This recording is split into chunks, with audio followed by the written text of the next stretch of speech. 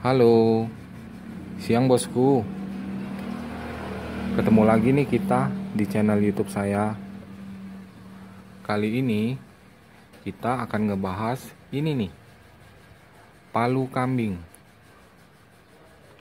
Kok bisa dibilang palu kambing? Gini nih bosku.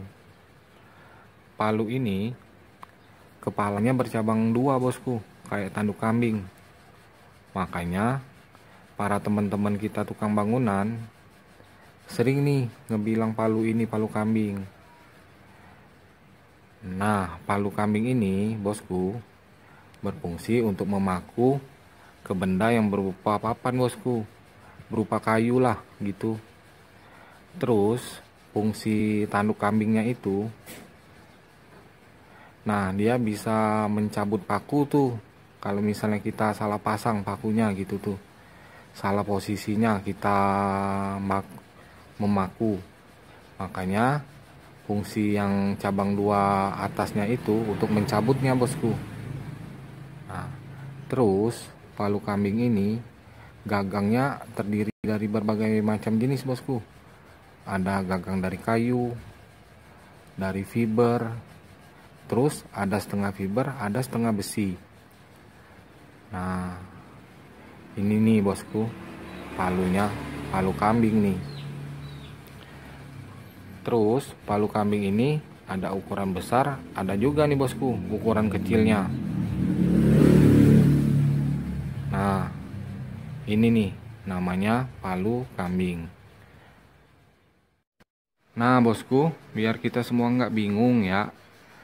Palu kambing ini juga ada perbedaannya nih Nah, satu tapaknya polos nih, kayak gini nih, polos. Nah, yang satunya lagi, dia tapakannya bergerigi tuh. Nah, bergerigi. Fungsinya, kalau tapakan yang bergerigi ini, bosku, waktu kita mau memukul paku, pakunya nggak lari, bosku. Nah, kalau yang ini tapakannya polos tuh. Nah, terus perbedaan yang lain nih, palu kambing ini Nah, coba ya. Perhatiin bosku ya, nih perbedaan dia yang lain ini nih. Nah, kan yang ini polos kan tuh, batangannya polos kan. Tuh. Nih palu yang palu kambing yang ini polos nih, bosku.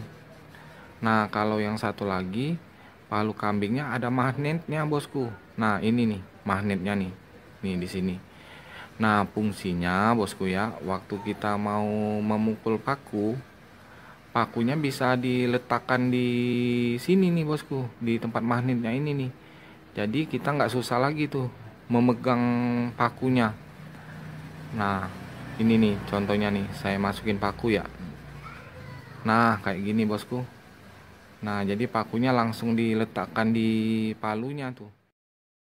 Nah itu tadi bosku palu kambing. Semoga video saya bermanfaat ya Oh iya, jangan lupa nih subscribe ya channel YouTube saya. Terima kasih.